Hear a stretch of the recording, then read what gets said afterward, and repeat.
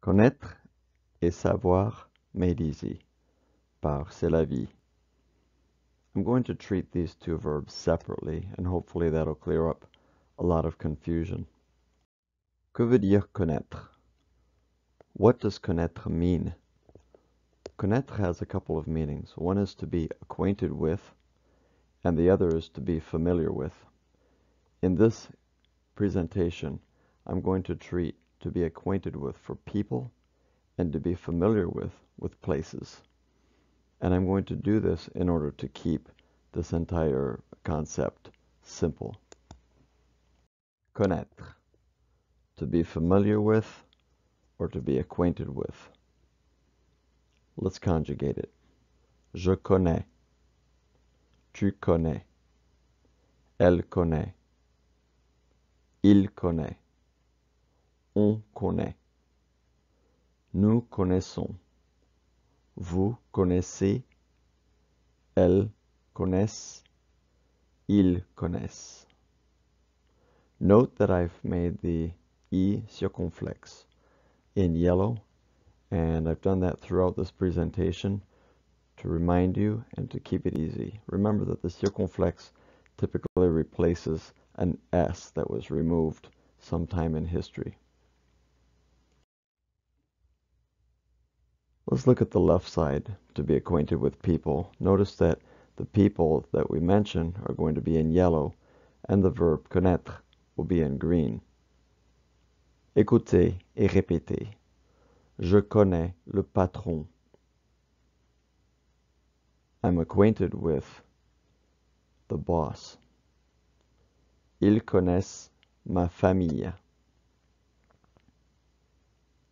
They're acquainted with my family. Vous connaissez ce type? Are you acquainted with this guy?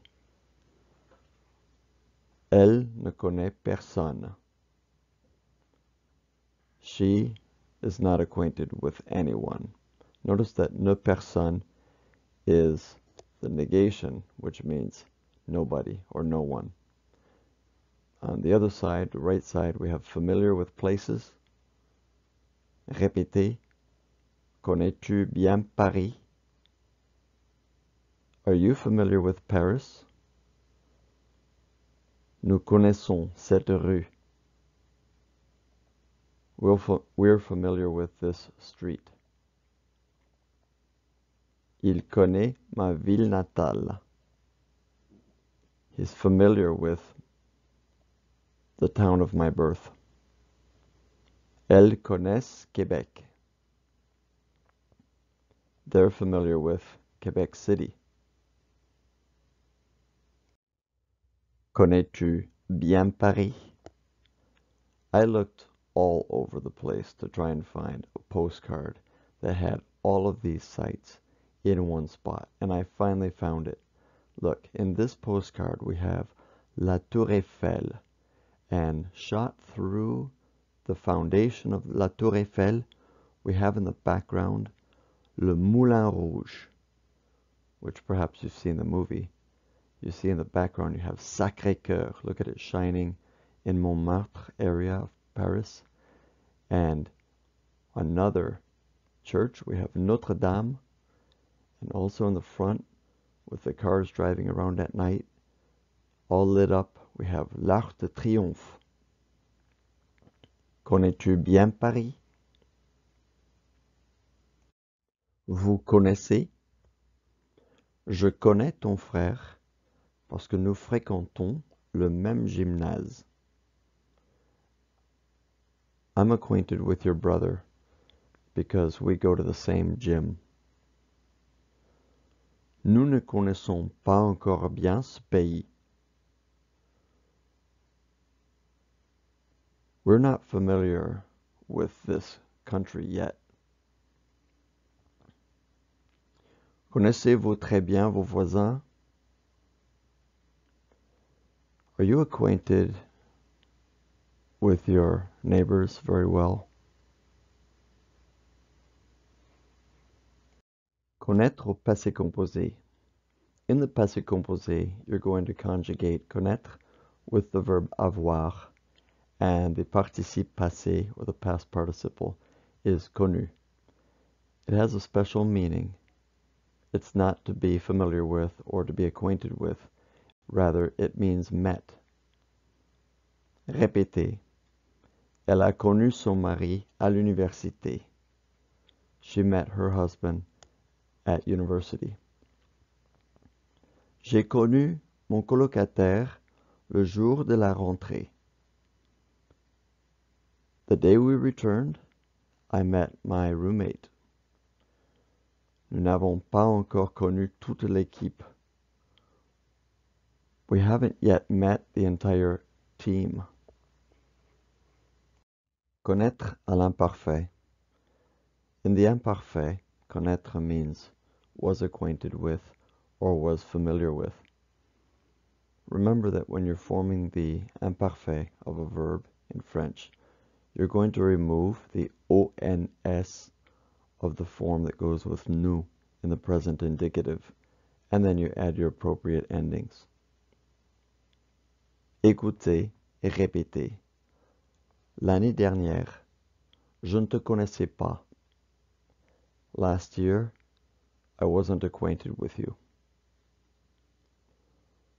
Quand elle était enfant, elle connaissait bien son quartier. When she was a child, she was familiar with her neighborhood very well. Connaissiez-vous tous vos cousins en Belgique? Were you guys acquainted with all of your cousins in Belgium? Now, having talked about the verb connaître, we're now going to look at the next verb, which is savoir. And although it's the same presentation, we're going to treat it as a different entity. Savoir means to know how to do something and also to know factual information. If you keep this in mind, you'll be able to keep this all very simple. To conjugate savoir, Répétez. Je sais. Tu sais. On sait. Il sait. Elle sait. Nous savons. Vous savez. Ils savent. Elles savent. On the left side, we're working with the concept of knowing how and I've put in the color of light blue what we know how to do. Répétez. Ils savent nager.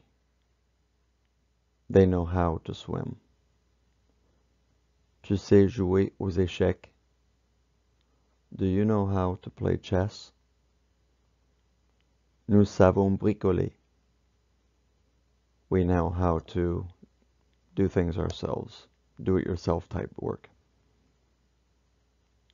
Il ne sait pas lire. He doesn't know how to read. On the right, we're dealing with factual information. Répétez. Savez-vous où j'habite? Do you know where I live? Elle ne sait pas l'heure. She doesn't know what time it is. Je sais que c'est difficile. I know that it's difficult. Elles savent qui tu es. They know who you are. Ils savent nager. Voici peut-être une équipe de natation. Il y a quatre nageurs, au moins trois qui font le crawl, et puis un autre qui est en train de plonger dans la piscine. There's one who's diving into the pool. Il plonge dans la piscine. Il se prépare peut-être pour un concours de natation.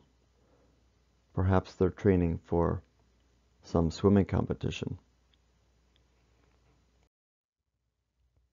Savez-vous? Do you know how? Or, do you know factual information? Écoutez et répétez. Savez-vous vraiment faire de la planche à voile? Do you really know how to windsurf? Or, do you really know how to sailboard? Ils ne savent pas que vous n'êtes pas d'ici. They don't know that you're not from here. Ma meilleure amie ne sait pas cuisiner. My best friend doesn't know how to cook. Mais nous savons tous qu'elle a quand même apporté le dessert. But we all know that even so, she brought the dessert. So she couldn't cook, but she did something. Savoir au passé composé has a special meaning. In the passé composé, you're going to conjugate the verb using the verb avoir as your auxiliary verb, and the past participle is su. In the passé composé, it means found out. Elle n'a pas su que son fiancé avait déjà huit enfants. She didn't find out that her fiancé already had eight children. Now that would have been useful information to know beforehand. Mes amis ont su que c'est mon anniversaire aujourd'hui. My friends found out that it's my birthday today. Nous avons su hier que tu étais malade. We found out yesterday that you were sick. Savoir à l'imparfait. In the imparfait, it simply means new. Saviez-vous que j'habitais si près? Did you know that I lived so close? Savait-elle écrire et lire à l'âge de trois ans? Did they know how to write and read at three years old? Savait-il jouer bien au volleyball? Did he know how to play volleyball well? Now, before I say this last slide, you're probably asking, what's the fuss? Why was that so difficult? It's that when people are teaching savoir and connaître, usually they teach them simultaneously and side by side, and it makes everything confusing. À la prochaine, c'est la vie 2020.